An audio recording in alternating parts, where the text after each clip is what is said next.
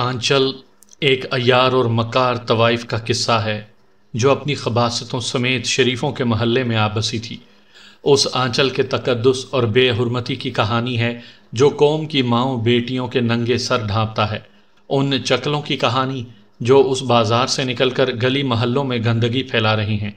वो ऐसी बीमारी की तरह थी, जो शरीफ आदमी को लग जाए तो वो मारे शर्म के इलाज भी नहीं करवा सकता।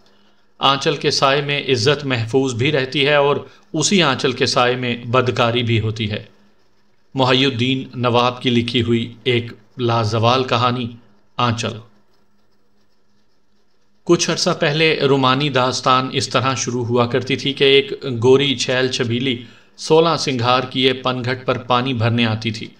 तब एक बांका छैल छबीला परदेसी उधर से गुजरता और जगमग करती गोरी घूंघट निकालकर साफ़ छुपती भी नहीं, सामने आती भी नहीं। फिर शर्माते लजाते हुए पूछती, अजनबी, क्या प्यासे हो? पानी पियोगे? मंसूर ने झिझकती हुई नज़रें उठाकर गोरी को देखा। वो सोलह सिंघार किए म्यूनसिपलिटी के नलके से लगी खड़ी थी। उसकी आँखों में काजल और होंठों पर सुर्खी लगी हुई थी।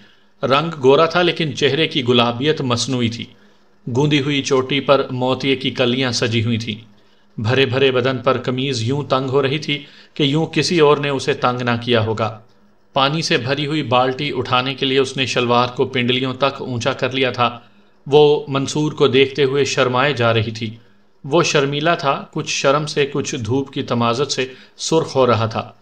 हाथ में किताबें थीं, कॉलेज से वापसी में प्यास लगी तो नलके से ज़रा दूर ठहर गया था। ये तासुर नहीं देना चाहता था कि गोरी के लिए रुक गया है। मगर उसकी तो के ख़िलाफ़ वो ख़ुद ही उसे मुखातिब कर रही थी। अगर पानी पीना है तो ये रहा मेरा घर। उसने एक हाथ के इशारे से बताया। उसका मकान पाँच छः कदम के फासले पर था। नलके के नीचे बाल्टी पानी से भरती जा रही थी। वो टूटी घुमाकर नलके को बंद करते हुए बोली, आ जाओ, मेरे घड़े का पानी बहुत ठंडा होता है। मेरे यहाँ कूलर भी है। वो भरी हुई दो बाल्टियाँ उठाने के लिए झुकी। मंसूर ने आगे बढ़कर कहा, ठहरिए। आप मेरी ये किताबें संभालिए, मैं पानी पहुँचा दूँगा। उसने मुस्कुराते हुए किताबें ले ली। मंसूर झुककर दो भरी हुई बाल्टियाँ उठाने के बाद सीधा हुआ तो उसका सीना चट्टान की तरह और फैल गया। गोरी की निगाहें यूँ फैल गईं जैसे हाय कह रही हो। उसने जल्दी से बढ़कर मकान का दरवाज़ा खोला। मंसूर बाल्टियाँ उठाए, तीर की तरह अंदर चला गया। आँगन में पहुंचकर गोरी ने बावरची खाने की तरफ़ रहनुमाई की। उसने बाल्टियाँ वहाँ ले जाकर रख दी। आँगन में घने दरख्त का साया था, ठंडी हवाएँ चल रही थीं। वो एक छोटी सी चौकी उसकी तरफ़ बढ़ाते हुए बोली, यहाँ बैठो, मैं तुम्हें ठंडा मीठा शरबत पिलाऊँगी। तुमने अपना नाम तो बताया ही नहीं। मेरा नाम मंसूर अहमद है। वो आसपास देखने लगा। आँगन के दो तरफ़ कमरे बने हुए थे, तीसरी तरफ़ बावरची खाना था, चौथी तरफ़ आँगन में दाखिल होने के दरवाजे के साथ एक और कमरा था। उस कमरे से किसी मर्द ने आवाज़ दी, औसाफ बेगम, कहाँ हो? ज़रा इधर आओ। अभी आई, ये कहकर वो उस कमरे की तरफ़ जाने लगी। मंसूर ने पहली बार तवज्जो से महसूस किया कि वो एक उम्र रसीदा, भारी भरकम औरत है और उस पर बेगम जैसा नाम जचता है।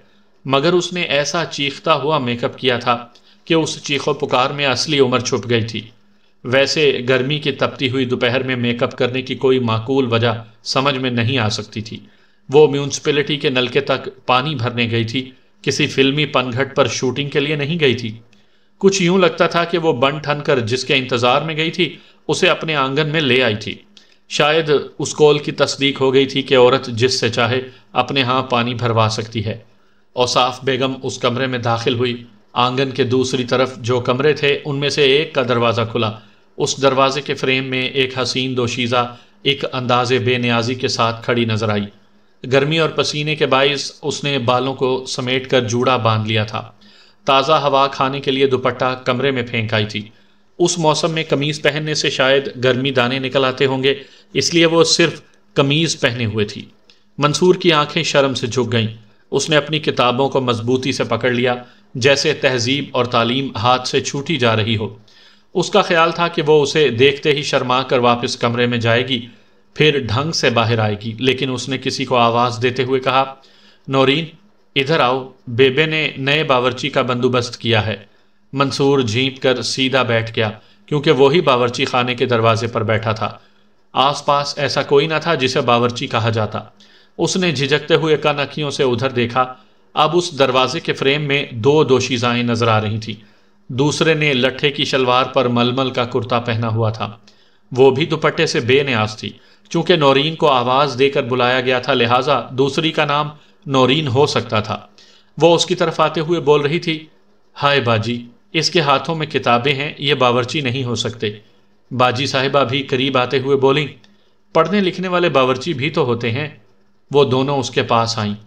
मंसूर जल्दी से उठकर खड़ा हो गया। जैसे लड़कियाँ घबराहट में दुपट्टा संभालती हैं, वैसे ही वो अपनी किताबें संभाल रहा था। नज़रें ज़मीन पर गड़ी हुई थीं। नौरीन ने कहा, अल्लाह बाजी, ये कैसे शर्मा रहे हैं?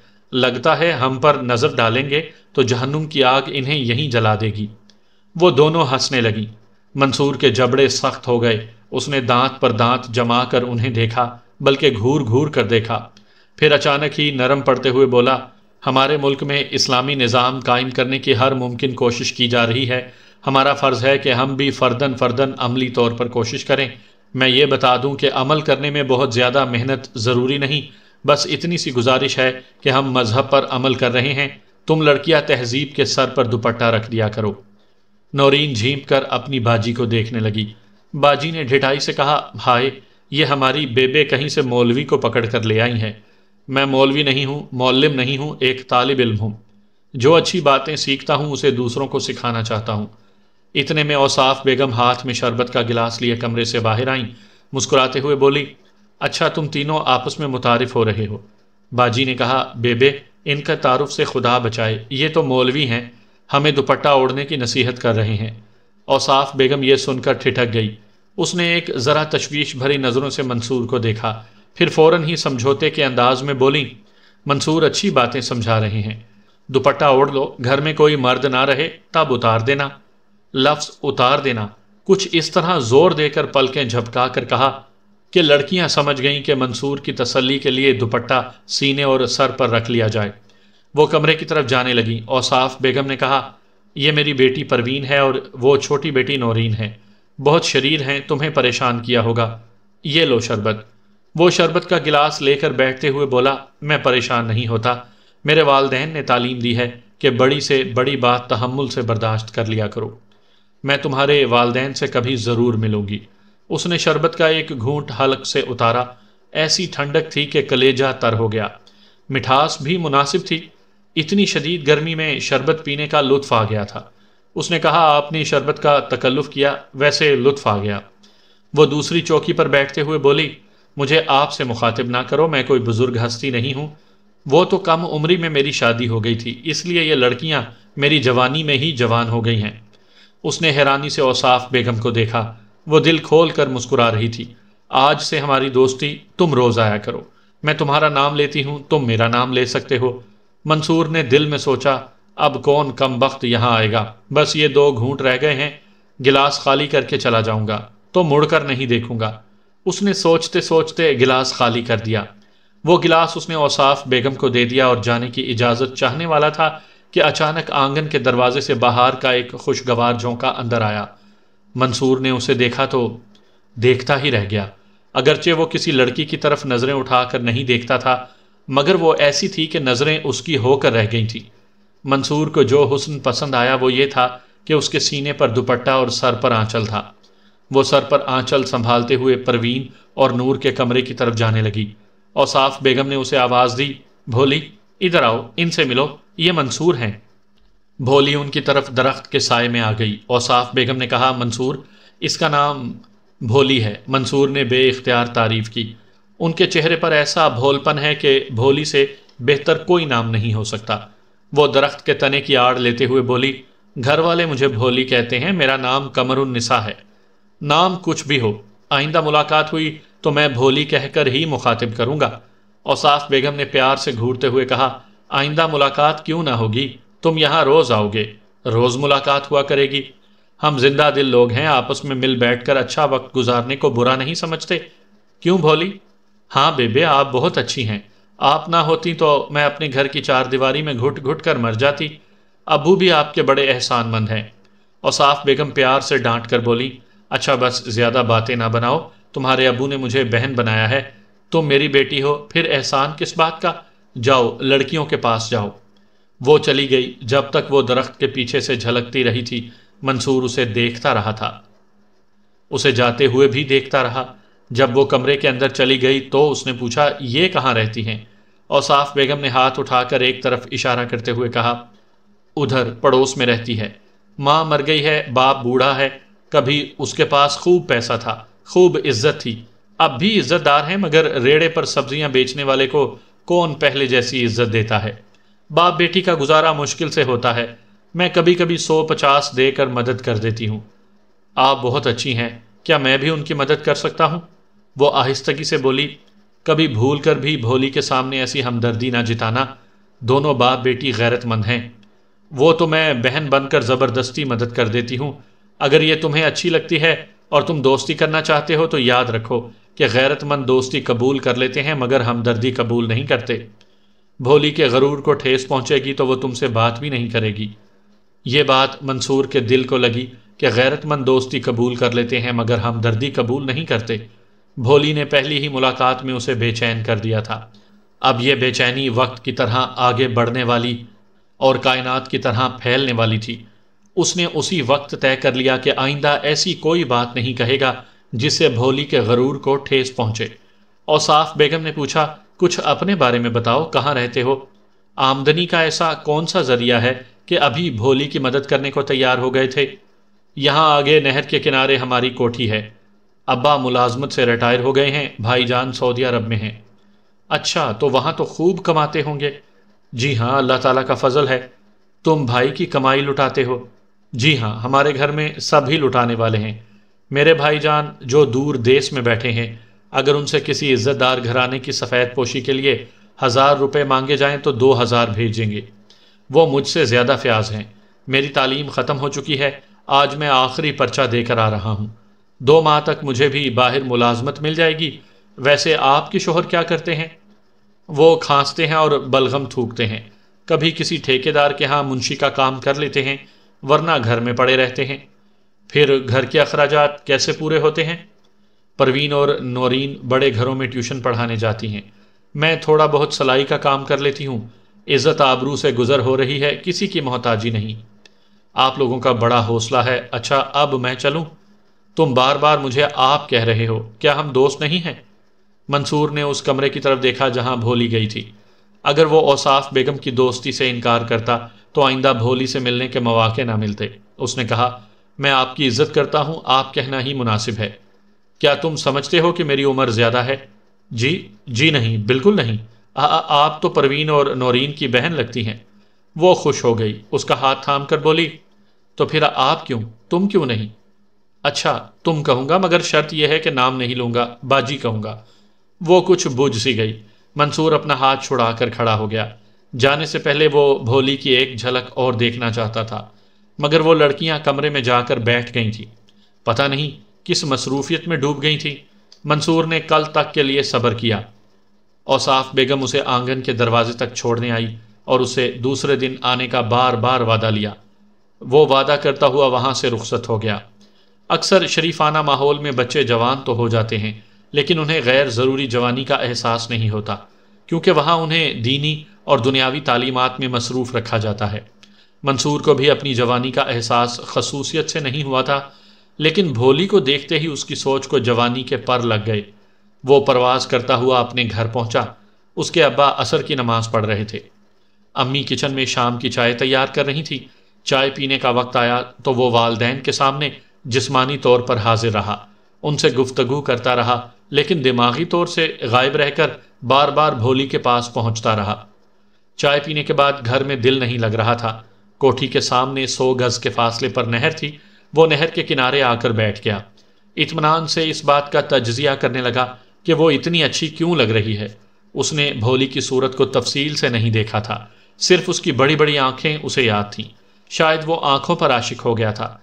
फिर उसे याद आया कि वो दरख्त की आड़ में कैसी प्यारी अदाओं के साथ नज़र आ रही थी। वो उन अदाओं से महजूज हो सकता था, लेकिन लफ्ज़ों में उनकी तारीफ़ बयान नहीं कर सकता था। शायद उन अदाओं ने उसे जीत लिया था या फिर वो बोल रही थी तो उसकी आवाज़ का तरन्नुम और लहजे का धीमापन दोनों ही खूबियाँ दिल पर असर कर रही थी। अजीब बात थी कि लोग पहले चेहरे के हुस्न पर मरते हैं और उसे भोली का चेहरा याद नहीं था और वो मर रहा था। बड़ी देर बाद अपने घरेलू माहौल के मुताबिक उसे याद आया कि उसकी अम्मी बराबर अपने सीने और सर पर दुपट्टा रखती हैं। भोली का यही मशरकी हुस्न उसे पसंद आया था। सूरत मामूली हो मगर आंचल के साय में हो तो मशरक का हुस्न उसे दिलकश बना देता है। रात होने लगी। वो नहर के किनारे से उठकर कोठी की तरफ़ जाने लगा। भोली भी उसी के साथ चल रही थी। वो सोच की जबान में कह रहा था, तुम तमाम उम्र इसी तरह मेरे साथ चलने के लिए पैदा हुई हो। साथ चलने वाली भोली के नौरानी पैकर ने कहा, मैं गरीब हूँ, ज़्यादा दूर तक साथ नहीं चल सकूँगी। हाँ मुझे याद आया कि तुम बाप बेटी बड़ी तंगी तुर्ची से गुजारा कर रहे हो। मैं वादा करता हूँ कि जब तक तुमसे शादी नहीं करूँगा, उस वक्त तक तुम्हारे घर के अखराज पूरे करता रहूँगा। शादी के बाद तुम मेरे घर में राज करोगी। आप ऐसी बातें ना करें। शादी से पहले आपसे एक पैसे की मदद हासिल करना हमारे लिए बेगैरती है। लेकिन तुम मेरी हो। मैं तुम्हारे लिए कुछ करने का हक रखता हूँ। मैं निकाह से पहले आपकी कुछ नहीं हूँ। आप हमारे असूलों को कमज़ोर बनाना चाहते हैं। अब मैं आपसे नहीं मिलूँगी। अचानक मंसूर को ठोकर लगी। वो गिरते गिरते बचा। भोली गायब हो चुकी थी। नाराज़ होकर चली गई थी। अम्मी ने दरवाजे पर से पूछा बेटे, किन ख्यालों में गुम हो, ज़रा देख कर चलो। वो झींप कर मुस्कुराने लगा। अम्मी, मैं आज बहुत खुश हूँ, लगता है, जैसे सारे जहाँ की खुशियाँ मिल गई हैं। मैं जानती हूँ, उन्होंने ममता भरी मुस्कुराहट से कहा, आज तुम्हारे सर से मोटी मोटी किताबों का बोझ उतर गया है। चंद माह के बाद तुम्हें इंजीनियरिंग का डिप्लोमा भी मिल जाएगा। फिर तुम मुल्क से बाहर एक वसी दुनिया में जाओगे। उसके दिल की वसी दुनिया में भोली थी और अम्मी वहाँ झाँक कर उसे नहीं देख सकती थी। वो मुस्कुराते हुए बोला हाँ अम्मी, मैं आज रात भाईजान को ख़त लिखूँगा कि अब वो मुझे अपने पास बुला लें। मुझे भी अपनी जिम्मेदारियाँ संभालने के लिए कुछ कमाना चाहिए।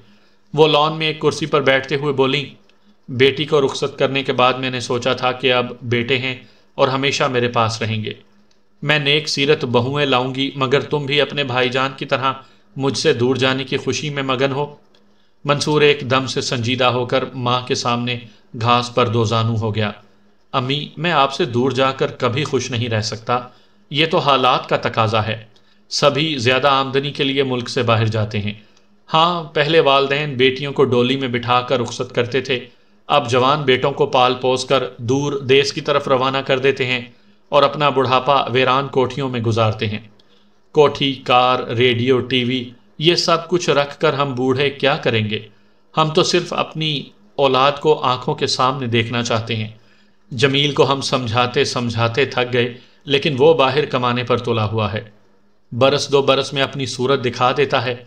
बेटे, तुम्हें तो हमारे पास रहना चाहिए। वो माँ को तक रहा था। ममता का नूर उसकी आँखों में दिल में उतर रहा था। उसने कई बार कहा था, अम्मी, मैं आपको छोड़कर कहीं नहीं जाऊँगा। लेकिन आज भोली को देखकर ज़्यादा से ज़्यादा दौलत हासिल करने की ख्वाहिश पैदा हुई। जमील भाईजान भी अक्सर लिख भेजते थे कि उसे मुल्क से बाहर निकलकर अपनी सलाहियतों को आजमाना चाहिए। उसके अब्बू हर हाल में मुतमिन रहने के आदि थे। बेटे कहीं भी रहें, अच्छे, सेहतमंद और सलामत रहें, लेकिन अम्मी की ममता नहीं मानती थी। तमाम औलाद को आँखों के सामने समेट कर रखना चाहती थी। उसने उसी दम फैसला करते हुए कहा, अम्मी, मैं आपको छोड़कर नहीं जाऊँगा। अम्मी खुश होकर उसके सर पर हाथ फेरने लगी। रात को बिस्तर पर करवटें बदलते वक्त ये ख्याल सताता रहा कि भोली की खातिर उसे अपनी जेब में कुछ न कुछ रकम रखनी चाहिए। पता नहीं महबूबा किस वक्त उसका सहारा लेने के लिए राज़ी हो जाए। वो अपनी अम्मी से किसी वक्त भी अच्छी खासी रकम ले सकता था, मगर कब तक? भोली के लिए तो उसे खुद ही कुछ करते रहना था। इसलिए अब ज़्यादा से ज़्यादा कमाने की फ़िक्र पड़ गई थी और आजकल ज़्यादा कमाई मुल्क से बाहर हो रही थी। पता नहीं कितनी रात बीत गई तब उसे ख्याल आया कि वो जाग रहा है और वो नींद उड़ाने का सहर फूंकती जा रही है। उसे अपनी हिमाकत का एहसास हुआ कि वो यक तरफा मोहब्बत की आग में सुलगता जा रहा है। वो तो गहरी नींद सो रही होगी। वो उसके ख्याल में होगा, ना ख्वाब में। और वो खाम खा अभी से रात की नींद हराम करके ख्याली रोमांस में मुबतला हो गया है। उसने सोने की कोशिश की। मालूम नहीं कितनी देर बाद बड़ी मुश्किलों से नींद आई। सामीन कराम आप सुन रहे हैं मुहैयुद्दीन नवाब की लिखी हुई एक कहानी, आंचल।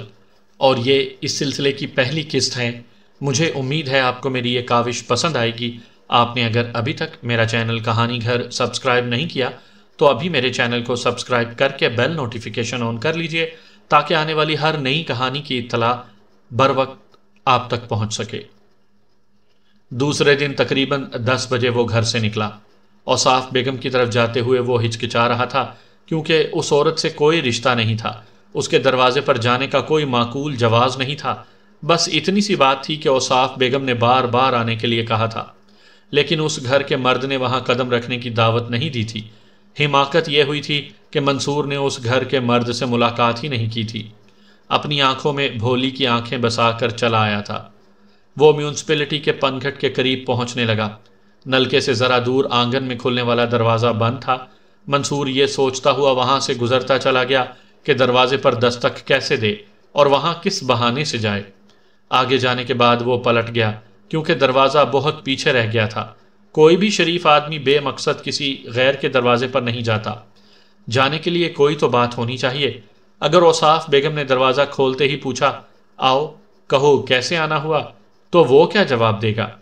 वो चलते चलते ठिठक गया, क्योंकि दरवाज़ा फिर पीछे रह गया था। और वो बहुत आगे बढ़ाया था। उसके दिल में यह बात थी कि उस घर की कोई रहने वाली उसे वहाँ से गुजरते देखे और खुद ही उसे आवाज़ देकर बुला ले। ऐसा तो कभी नहीं हुआ कि कुआँ खुद प्यासे को बुलाता हो। अलबत्ता प्यास बुलाती है और ये पता नहीं था कि भोली भी प्यासी है या नहीं। अचानक वो लॉटरी की तरह तकदीर के दरवाजे से निकल आई और साफ़ बेगम के पड़ोस का दरवाज़ा खुला था। वो सर पर आंचल संभालते हुए और मंसूर पर एक नज़र डालते हुए औसाफ बेगम के दरवाजे तक गई। फिर सर घुमाकर उसे देखने लगी।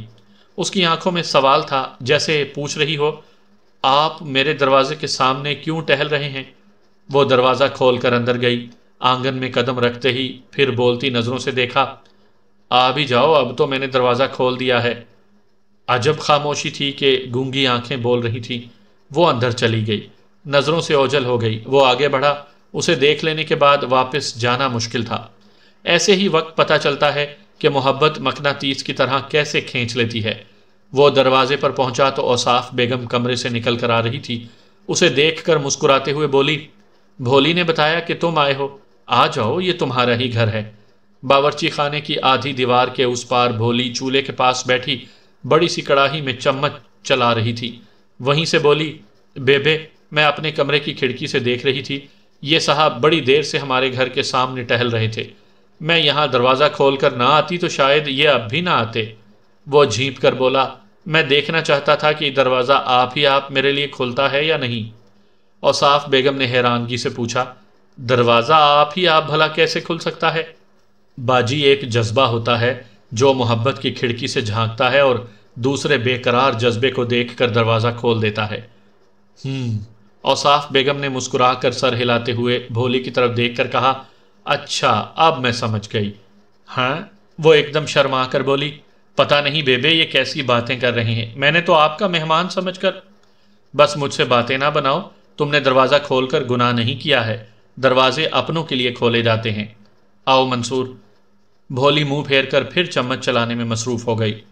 मंसूर और साफ़ बेगम के साथ आँगन से गुजरता हुआ परवीन और नौरीन के कमरे में पहुँचा। वहाँ तीन नौजवान लड़के नौरीन के साथ कैरम खेल रहे थे।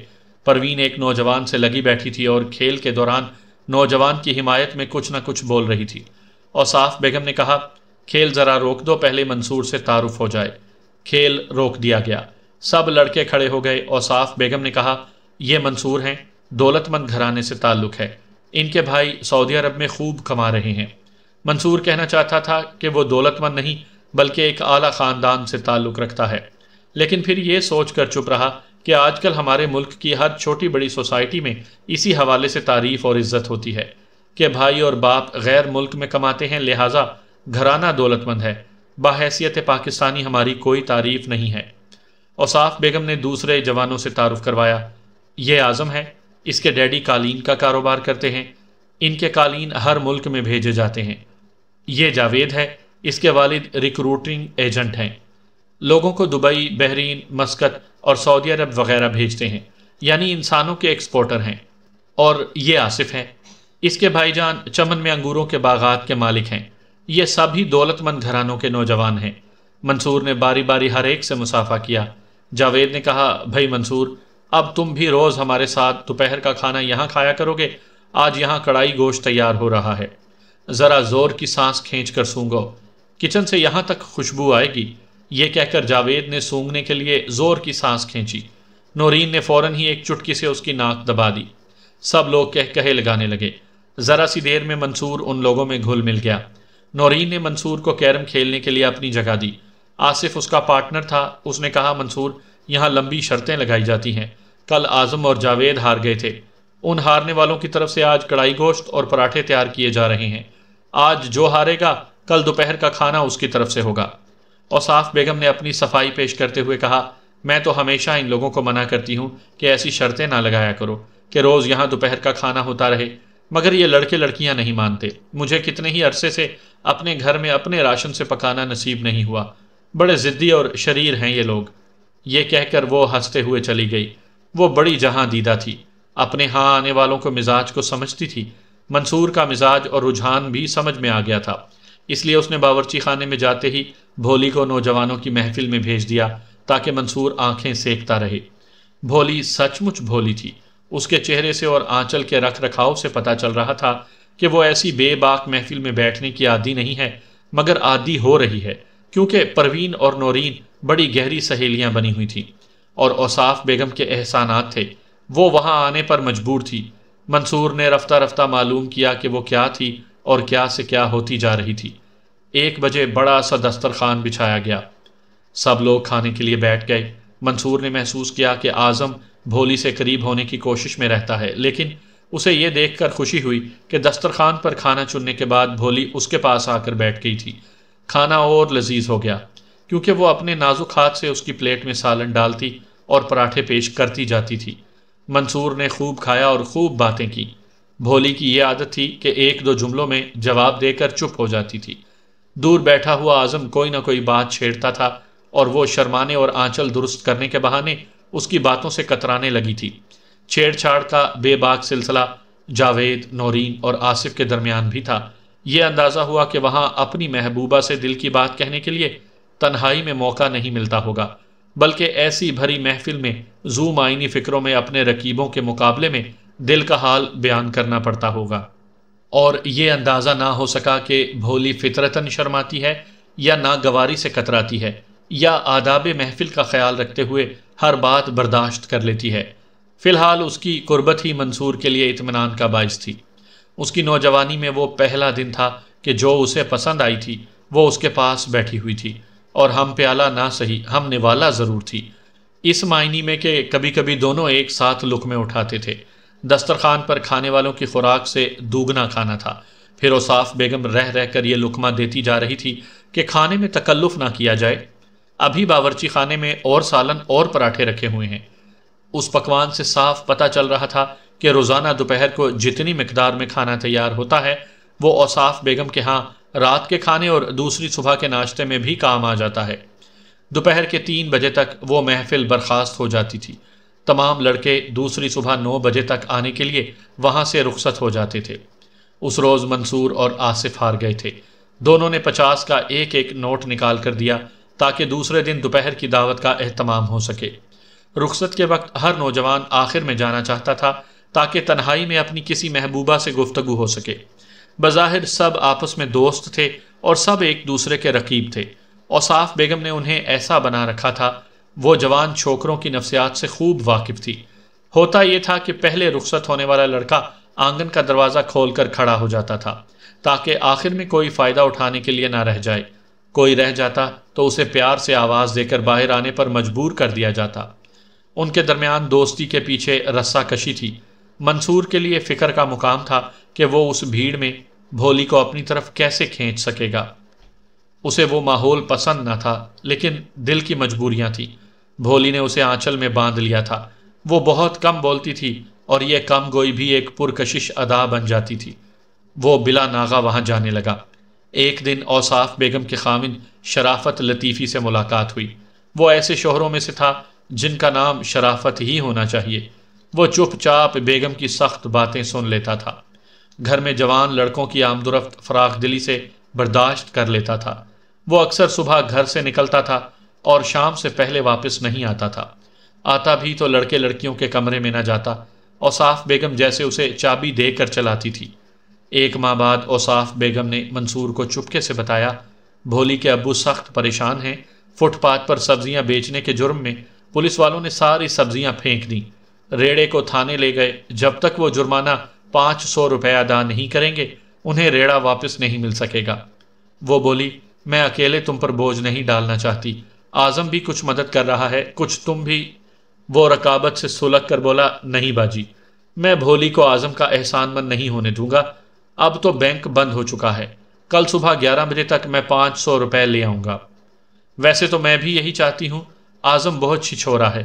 ठीक है, मैं उसे कह दूँगी कि भोली और उसके अबू किसी की मदद कबूल नहीं करेंगे। और ये दुरुस्त है, तुम भी भोली से इसका ज़िक्र ना करना। मैं तुम्हारे पाँच सौ रुपये खुद ही लेकर थाने जाऊँगी और खुद ही मामला ठीक कर लूँगी।